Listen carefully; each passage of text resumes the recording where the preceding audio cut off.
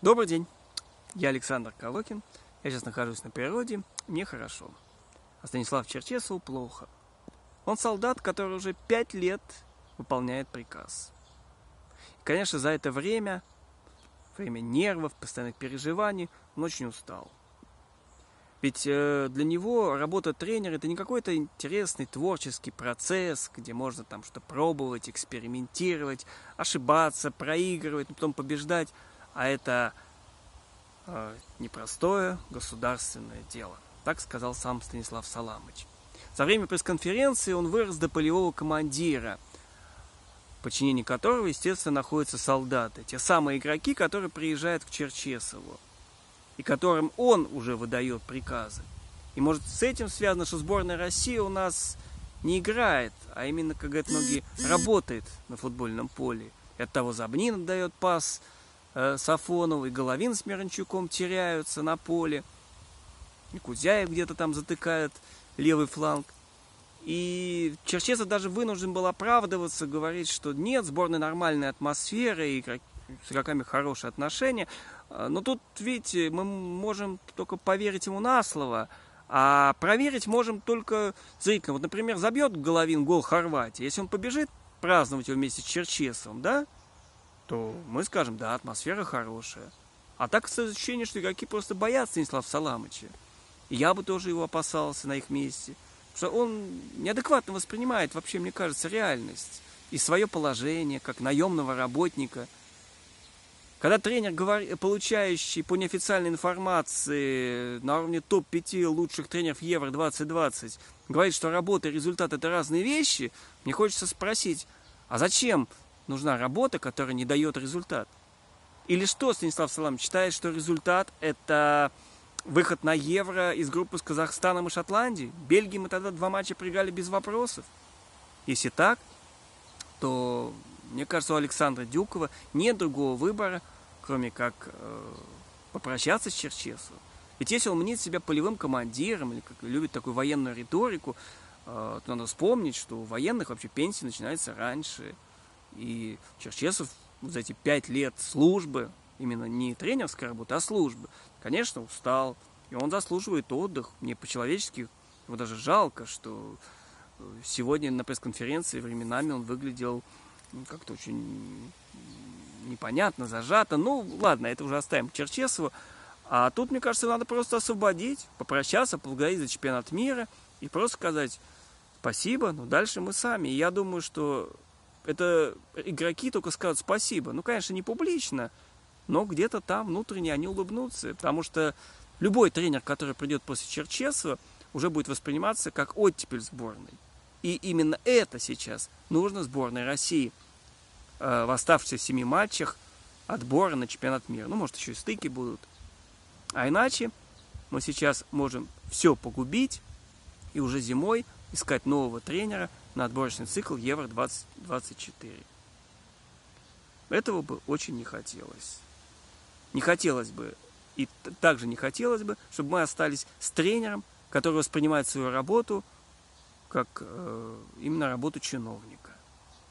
Для роли чиновников есть другое место. Вот, например, Станислав Саламычу еще не поздно, кстати, в случае отставки, попробовать баллотироваться в Думу. Я думаю, для него сделают исключение. Все-таки четвертьфиналист чемпионата мира.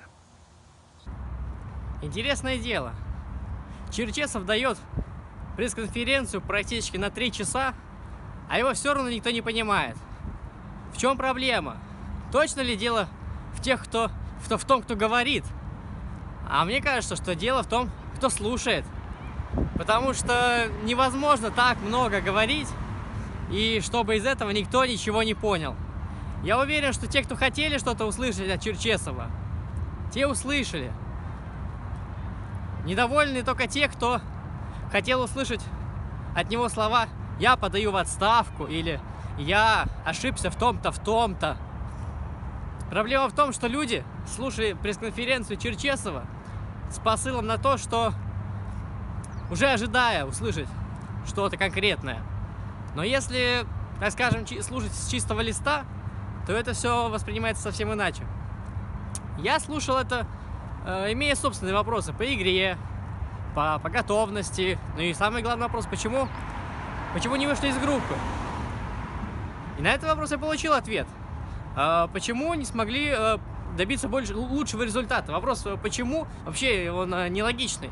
Почему не могли сыграть лучше? Потому что не хватало... Он, он и после матча, на самом деле, Черчесов сказал это.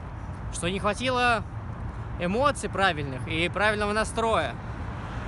А частично этого не хватило, потому что не было лидера внутри команды.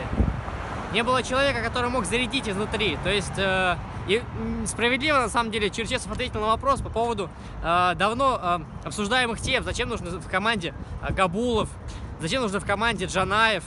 И Черчесов ответил на все это, потому что они помогали э, быть команде в тонусе. Проблема в том, что в этой сборной России нет лидера.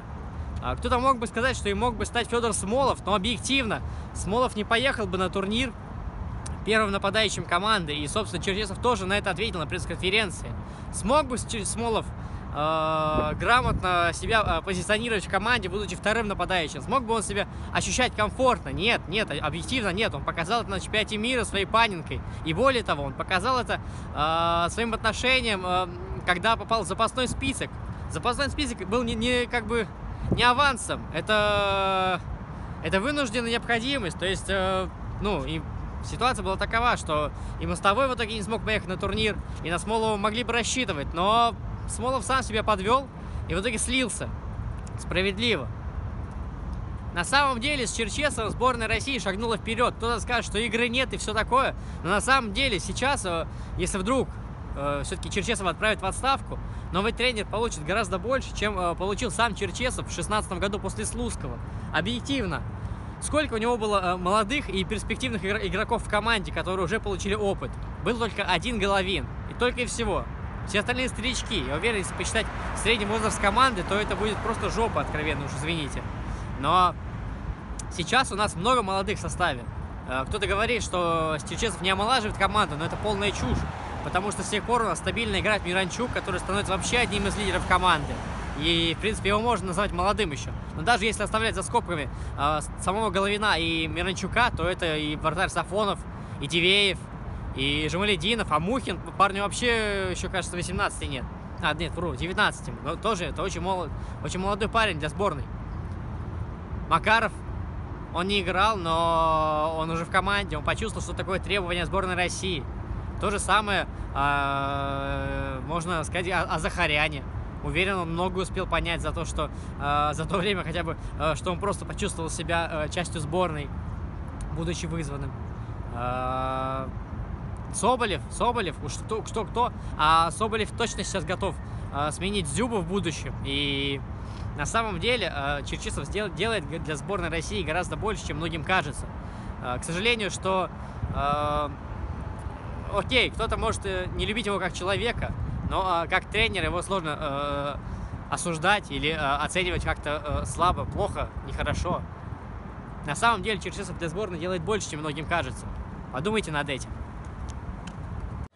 Всем привет. Есть э, очень короткое мнение по пресс-конференции Черчесова. Э, тренеру хотелось объяснить, как всегда он это делал, э, почему происходило так или не иначе. Он всегда это делал, когда был в «Спартаке», Титов, Калиниченко уходили, и когда в Легии Варшавской фанаты были недовольны тем, что команда не зрелищно играет. Но всегда выходил и объяснял, ну, есть такая потребность, он это делает. Я помню, что Капелло не объяснил, адвокат улетел, Слуцкий объяснил, но письменно, и в итоге недовольны остались абсолютно всеми тремя. Сейчас недовольны, как все рассказал Черчесов. Но мне кажется, что проблема заключается, в том, что э, люди немножко зацикливаются на каких-то деталях его специфики его разговора, там на каких-то милитаристских терминах и так далее, да, а и не хотят слушать то, что он пытается до них донести. Э, слышать и слушать это абсолютно разные вещи. Э, на мой взгляд, объяснение, какие мог он дать, он дал, но сидеть 4 часа, наверное, было невозможно.